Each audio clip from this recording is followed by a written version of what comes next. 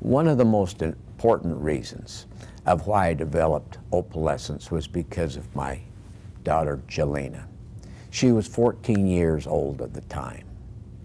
She wanted her teeth whiter. I couldn't understand why. I, I thought they looked fine to me. I even took my Vita Shade Guide home. Look, love, A3, it, it's even on the lighter side of the scale. Dad, I need my teeth whiter. Dad, I need my teeth whiter. She started cutting advertisements out of my dental journals. What about this, Dad? What about that?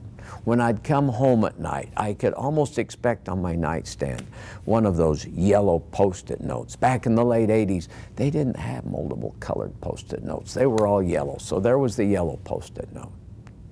How are you coming, Dad? Where are you at? I told her, be patient, love. I'm, I'm working on something. Ah, we finally had the sticky viscous composition I wanted, a soft, thin scallop tray.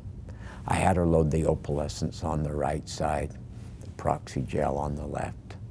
I told her not to take the tray out until you wake up in the morning.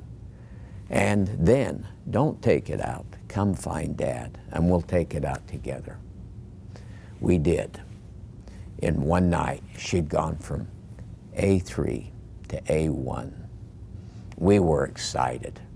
I shot a picture. I still use that picture in my lectures. Ah, it was a few years later that Jelena told me why she so desperately wanted her teeth whiter. She said, Dad, I was being teased in school. The kids told me I was dirty, that I didn't brush my teeth, and they knew you were a dentist, so they twisted the knife. Jelena is now known as Dr. Jessup. She's my boss when I work in the dental office. I'm a lucky guy.